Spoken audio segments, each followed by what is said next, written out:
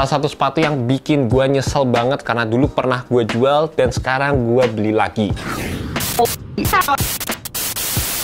Hey guys, selamat datang di YouTube channel Naksir Sneakers. Kali ini gue mau nge-review sepatu Air Jordan 34 Zion. Ini sepatu yang rilisannya tuh klasik banget dan gue nyesel. Dulu gue pernah jual pair gue Air Jordan 34. Ya, ah, akhirnya tapi gue punya lagi nih. Gue beli sepatu ini dan harganya 2 jutaan 2,5 kalau nggak salah. Jadi harganya cukup tinggi guys untuk ukuran sepatu basket zaman sekarang di mana sekarang banyak banget sepatu basket yang dijual dengan harga under 1 juta. Kalau kalian cek di um, Facebook, kalau kalian cek di secondary market dan lain sebagainya banyak banget yang harganya itu cukup miring dan sepatu ini salah satu yang agak susah dicari sekarang terutama di kondisi brand new seperti ini guys. Gue dapetin sepatu ini bener-bener kayak excited banget dan colorway yang ada di sepatu ini juga gak rilis di Indonesia. Karena ini edisi spesialnya Sion jadi dari segi boxnya pun juga beda. Ada detail-detail spesial juga yang bakal kalian dapetin di dalam boxnya dari kayak ada buku warnanya juga ada kartu greeting card dan sepatu ini menceritakan kalau Sion itu dikasih sepatu dari Noah. Noah itu siapa? Gue nggak terlalu ngerti ngerti gue juga agak lupa sama storytellingnya cuma setahu gue um, sepatu ini tuh warnanya identik sama krayon gitulah guys. Jadi warna-warni gitu di sekujur material upper sepatu ini. Kalian bisa lihat juga dari segi pewarnaannya cukup unik. Di setiap paneling materialnya ini dikasih beberapa kombinasi warna yang berbeda. Dan terlepas dari itu Jordan 34 menurut gue ya guys ini adalah sepatu performance Jordan yang paling gue enjoy dibandingkan dengan yang akhir-akhir ini rilis. Jadi kayak 35, 36 menurut gue 34 ini yang paling nyaman sih guys. Karena selain sepatu ini waktu pertama kali rilis digadang-gadang sebagai Jordan paling ringan yang pernah dibuat. Tapi buat gue sebenarnya yang paling istimewa dari sepatu ini adalah heel lockdownnya bagian heelnya menurut gue tuh spesial banget di mana sepatu ini memiliki konstruksi yang cukup unik yang gue nggak habis pikir karena Jordan Brand tuh bikin sepatu ini dari konstruksi heelnya dulu baru ke keseluruhan material upper sepatu ini. Jadi kalian memang bisa ngelihat ini heelnya terpisah terus ada material yang nge-wrap lagi di bagian depan dan entah kenapa waktu dipakai ini berasa nyaman banget heel lockdownnya itu tebal terus bisa bener-bener ngasih kalian containment yang oke okay.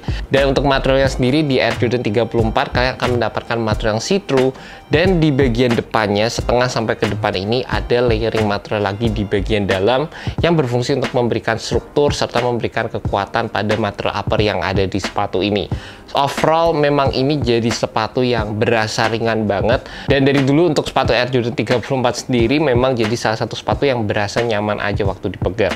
Penggunaan talinya sendiri di mana di sini ada kayak beberapa lacing cable-nya terus penggunaan material tangnya menurut gue sih asik banget di sepatu Air Jordan 34 kalian juga bakal dapat teknologi X-Grip Plate pada sepatu ini di mana ini juga pertama kali Jordan Brand menggunakan teknologi X-Grip Plate.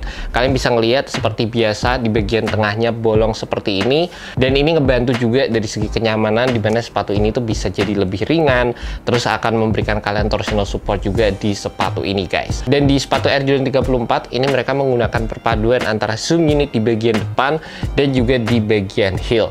Zoomnya dibikin agak beda guys kalau di bagian heel ini cuma kayak hexagonal unit aja. Nggak terlalu gede tapi cukup menurut gua untuk memberikan kalian impact protection saat kalian landing tepat di bagian heel. Tapi yang lebih istimewa adalah yang di bagian depan di mana tuh kalian bisa ngelihat zoom unitnya ini cukup besar dan ini dibikin versi unlock juga karena di bagian belakang di sini dikasih ruang sama di bagian sampingnya juga kalian bisa lihat di sini ini dikasih ruang untuk zoomnya itu bisa expand lebih optimal guys. Dan kalau ngomongin dari segi performance untuk sepatu Air Jordan 34 sendiri pada masanya ini jadi top list gua guys pada tahun sepatu ini dirilis. Dan di bagian cushionnya memang kalau dibandingin sama Air Jordan 36 nggak seempuk itu nggak sebouncy itu tapi menurut gue ini setup yang tetap nyaman banget. Jadi ya masih oke okay, terutama kalau kalian punya di tahun-tahun ini ya. Ini bisa dibilang masih jadi salah satu sepatu favorit gue sampai sekarang Untuk bagian tractionnya, sepatu Air Jordan 34 menggunakan traction yang terbilang cukup standar, basic, full herringbone, dan di sepatu ini kita akan mendapatkan full translucent rubber outsole juga. Dan untuk Air Jordan 34, menurut gue sih, gue nggak akan saranin untuk digunakan di lapangan outdoor, karena penggunaan rubber threadnya sendiri terbilang benar-benar minimalis guys. Cukup tipis, tapi terlepas dari itu, ini bisa memberikan kalian traction yang oke okay kalau kalian menggunakan di lapangan basket indoor. Buat kalian penasaran sama sizing dari sepatu Air Jordan 34 ini, menurut gue sepatu ini fit true to size tapi memang agak snug di bagian depan. Ini tergantung dari kalian masing-masing ya. Kalian suka sama sepatu yang fitnya tuh sempit snug atau enggak. Menurut gue pasti ada tendensi untuk naik setengah size di sepatu ini. Jadi pastikan kalau kalian bisa cobain dulu kalian cobain dulu sebelum kalian beli sepatu ini. Meskipun gue nggak yakin deh kalian gimana bisa ngedapetin sepatu ini lagi karena emang agak susah sih buat ngedapetin sepatu Air Jordan 34 sekarang-sekarang ini And that's about it guys, review untuk sepatu Air Jordan 34. Gue happy banget akhirnya gue bisa punya sepatu ini lagi dan kangen aja gitu rasanya gue pakai sepatu ini lagi di lapangan karena memang sampai sekarang gue ngerasa sepatu ini masih jadi salah satu sepatu yang bener-bener gokil dari segi performance. Rasanya meskipun gue udah nyobain beberapa sepatu, kali ini gue bakal announce juga kalian kalau misalnya gue disuruh pilih um, seri apa yang bakal gue pakai secara rutin kayaknya gue bakal pilih Jordan Brand. Kalau masih ada Kobe gue jelas pasti pilih Kobe tapi karena sekarang Kobe udah susah dan sekarang barangnya juga nggak tentu bakal dirilis kapan ya rasanya Jordan Brand itu bakal jadi salah satu sepatu yang bakal selalu gue lirik guys. Meskipun gue tahu banyak dari sepatu-sepatu lain yang performance-nya bahkan lebih bagus untuk sekarang-sekarang ini kayak Puma bagus banget terus kayak ada sepatu Asics juga menurut gue enak. Yep tapi kalau disuruh pilih rasanya tuh kayak gue ada koneksi aja sama Jordan Brand. Gitu sih guys. And that's about it. Thank you so much buat kalian udah nonton video kali ini. Semoga video ini bisa membantu kalian dalam menemukan sepatu basket yang cocok untuk kalian. Alright peace